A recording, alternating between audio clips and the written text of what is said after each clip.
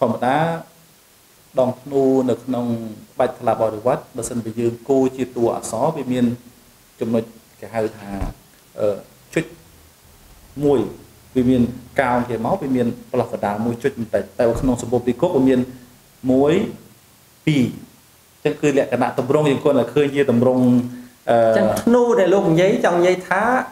នៅលើផ្ដែនៅលើផ្ដែដងធ្នូនេះផ្ដែយើងអាចថានិយាយជាធ្នូឬក៏ជាមែកឈើវាជាគេហៅថាដងធ្នូដងធ្នូបាទវាមានជាតម្រងដូចជាប្រភេទនេះបាទអានេះបានន័យថារចនាបថអានេះគឺជារចនាបថថ្លាបរិវត្តថ្លាបរិវត្តដល់ពេលចូលដល់សម្បូរពីគុកយើងមានថែមមួយទៀតបាទនេះគឺសម្បូរពីគុកអានេះគឺលក្ខណៈប្លែកចុះភ្នំដាអឺភ្នំដាយើងអត់ទាន់បានអឺ បញ្ចូល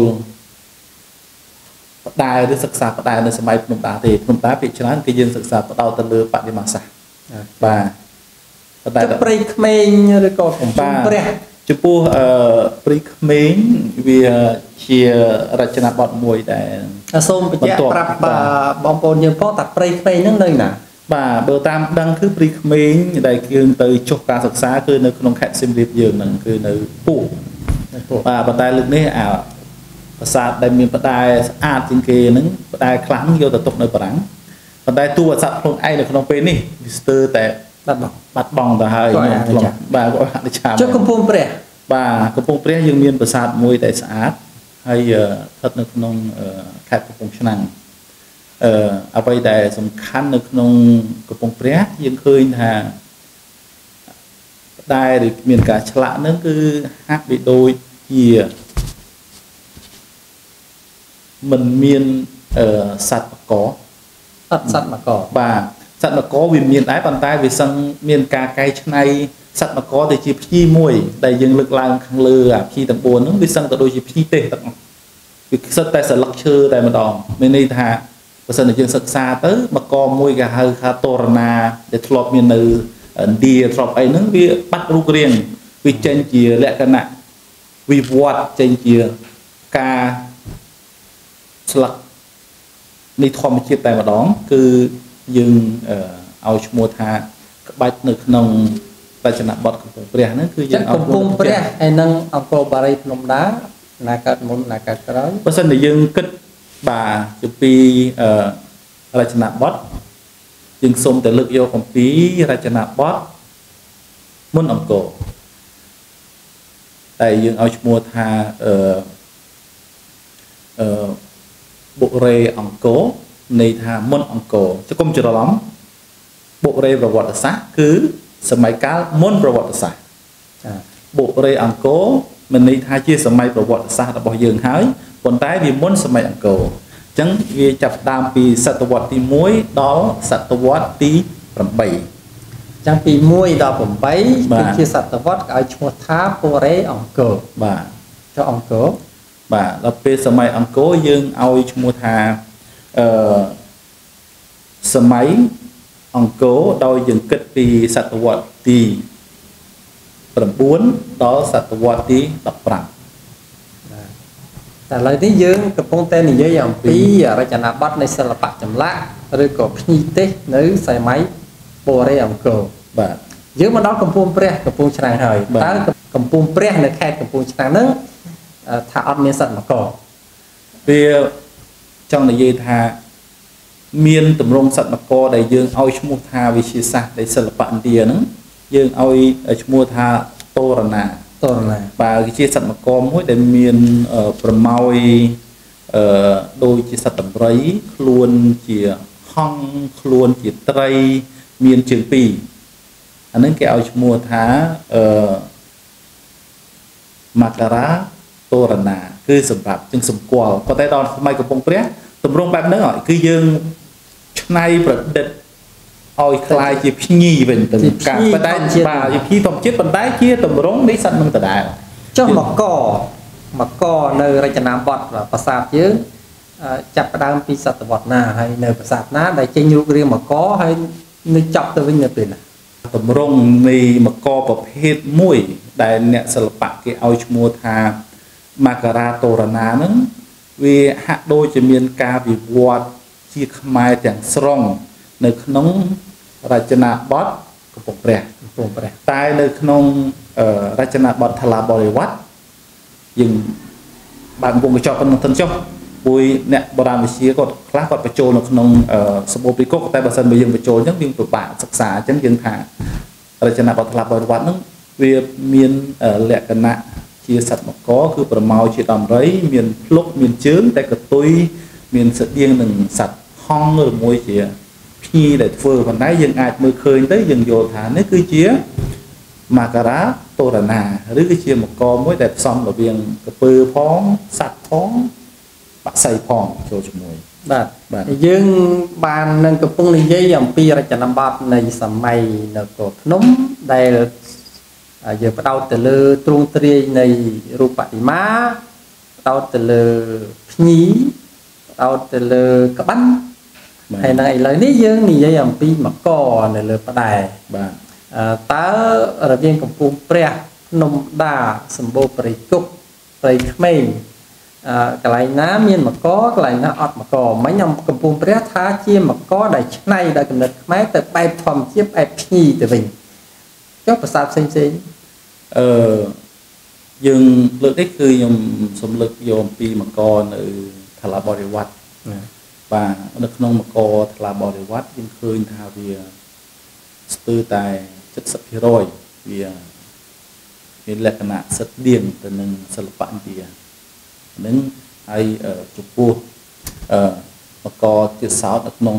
សម័យថ្លាបរិវត្តគឺអត់មានលក្ខណៈគេហៅថាលេចធ្លោមកខ្ជាក់សត្វនានាទេគឺគឺជាសត្វមកខ្ជាក់ ភ្ញីផ្កាដែលគេឆ្លាក់ចេញពីមាត់តែម្ដងរហូតដល់នៅសម្បូរព្រៃគុកយើងឃើញមានមកខ្ជាក់សត្វទេពនានាច្រើនដូចជាខ្ជាក់ហងខ្ជាក់ជ្រូកត្រីខ្ជាក់អឺទេវតាខ្ជាក់តោបាទខ្ជាក់តោបាទហើយខ្ជាក់ទេវតាអឺសទះឬមួយថាខ្ជាក់ទេពនំអីជាដើមអញ្ចឹងណា វាមានអ្នកទស្សនាកំពុងតែឆ្ងល់តើមកនោះជាអ្វីហើយហេតុអីបានគេជ្រើសរើសយកមកនោះទៅជាម៉ូដឬក៏រចនាបថហេតុអីបានមិនយកកំបីឬយកអីមកបាទមកបើសិនទៅតាមអឺភាសាឥណ្ឌាវាជាភាសាសំស្ក្រឹតដែលយើងឲ្យឈ្មោះថាជាសត្វកពើទឹកប្រៃម្យ៉ាង ឬគេហៅថាកពើសមុទ្រ ជាមួយនៅក្នុងភាសាអង់គ្លេសគេឲ្យឈ្មោះថាជា demonster creature in the sea អញ្ចឹងគឺយើងឲ្យប៉ុន្តែនៅក្នុងតាមទស្សនៈខ្លះដូចជាម៉ាឡេឥណ្ឌូនេស៊ីអីជាច្រើនអីផ្សេងទៀតគេថាវាជាប្រភេទឆ្លាម្យ៉ាងដែលមានប្រមោយស្តៀងដើម្បីថ្មិញធំធំប៉ុន្តែវាត្រូវបានបាត់បង់ទៅហើយហ្នឹងគឺ អត្តន័យសត្វមកនៅក្នុងវិទ្យាសាស្ត្រនៅក្នុងភាពពិតប្រាកដដែលវាយើងសិក្សាបែបវិទ្យាសាស្ត្រតែម្ដងប៉ុន្តែមកនៅក្នុងទេវកថាវាមានន័យផ្សេងគឺជាសត្វទេពម្យ៉ាងដែលគឺជាជាថាកើតពីសរសៃអឺគេហៅថាជាសរសៃសក់របស់ពនាងគង្គាតែតម្រាខ្លះគេថាជាកើតឡើងពីកន្សែងនៃ ខ្មែរយើងគេហៅថាសម្រាប់ពិស្រីវាជាខ្សែសក់បាទហើយបានធ្លាក់មកคลายជាសត្វមួយដែលមានអំណាចលើទឹកទាំងអស់គ្មាននរណាអាចបង្ក្រាបបានទេបាទមកកជាសត្វនៅក្នុងទឹកសោះរឿងអីទៅខ្ជាក់ហង់នៅលោកនិយាយមិនបាទអញ្ចឹងនៅក្នុងនេះគឺ